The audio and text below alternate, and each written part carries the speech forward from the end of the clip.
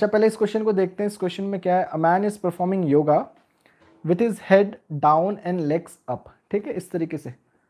इस तरीके से। मैं डायग्राम बनाने की कोशिश करता हूँ। अगर बन गया सही से तो इस तरीके से इसने अपने सिर को पकड़ा हुआ है और ऐसे इसने अपनी टांगे ऐसे करी हुई हैं। ठीक है? ओके। चलो इसका मैं फेस भी ऐसे दिखाता हूँ आपको। Okay so a man is performing yoga with his head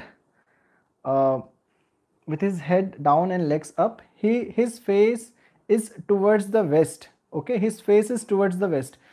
तो बहुत इजीली आप बता सकते हो, अगर उसका फेस क्या है towards the west so in which direction will his left hand okay तो आप आप कभी भी ऐसे उसमें ऐसे डायरेक्शन बनाओ ईस्ट वेस्ट नॉर्थ साउथ ठीक है?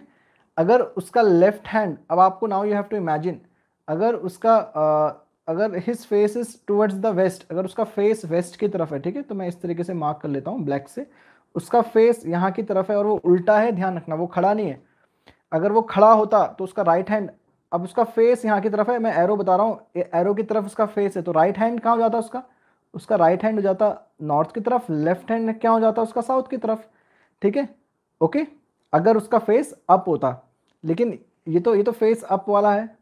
ठीक है? यहाँ पर तो आ, ये तो हेड उसका जब अप है हेड हेड इज़ अप अगर हेड डाउन में अगर जो हमसे पूछा हुआ है if head is down like this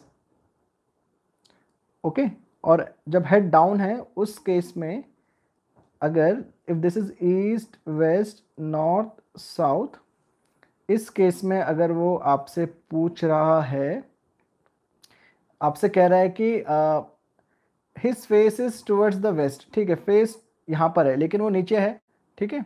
तो वो उठा हुआ है तो उसका right hand where will be his right hand where will be his right hand who will going to tell me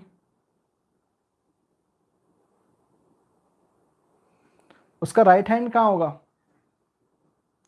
समझ रहे हो फेस उसका? अब this is his right hand ना? ये इसका राइट हैंड है this is the right hand तो राइट हैंड कहाँ होगा जब उसका फेस नीचे है?